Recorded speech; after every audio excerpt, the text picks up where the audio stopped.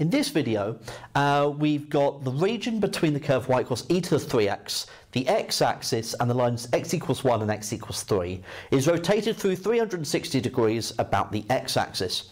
Find the volume of revolution which is formed. So here is the curve e to the 3x and we're going to rotate just that piece around the x-axis and we're going to determine the exact volume that is formed.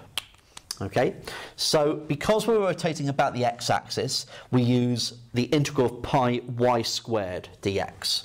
So it's going to be the integral between 1 and 3 of pi y squared dx.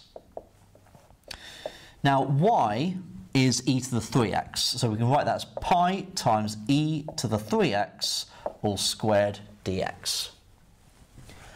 So we can bring the pi out of the integral, we can leave it inside. I generally prefer to bring it outside. So pi times the integral between 1 and 3 of e to the 3x squared, which is e to the 6x dx. So integrating that, we're going to have pi times 1 sixth e to the 6x evaluated between 1 and 3. And then I'm going to substitute in my limits. We're going to have 1 sixth e to the power of 6 times 3, so 18. Take away, substituting the 1, 1 sixth e to the 6. Okay, so uh, way to simplify that, well, I can factor out, I mean, there are different ways of kind of writing this, um, depending on how, how much you want to factor out.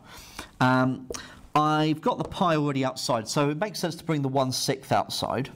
So you could write that as pi over 6 e to the 18, take away e to the 6. You could also factor e to the 6 out as well. So pi over 6 times uh, e to the 12, take away 1 times e to the 6. You could write it like that as well.